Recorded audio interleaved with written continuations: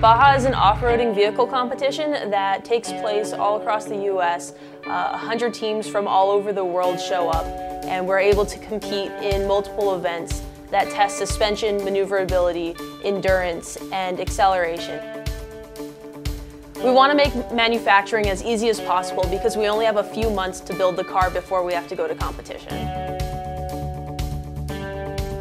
So last year we weren't able to finish a lot of the events because our CVT overheated.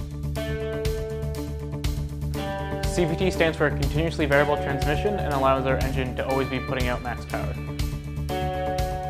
This year we want to improve the performance of the CVT by lowering its operational temperature. Our cooling system is a unique impeller uh, that pushes air over the CVT to cool it.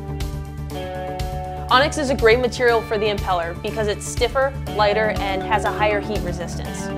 With Onyx, we were able to hit print and then take the finished impeller straight from the build plate to the car. When we took the car to competition this year, we performed better than we had in the last 10 years.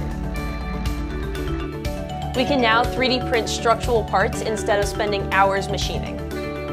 We're excited to see what other parts of the car can be 3D printed, knowing that they'll be faster, stronger, and lighter.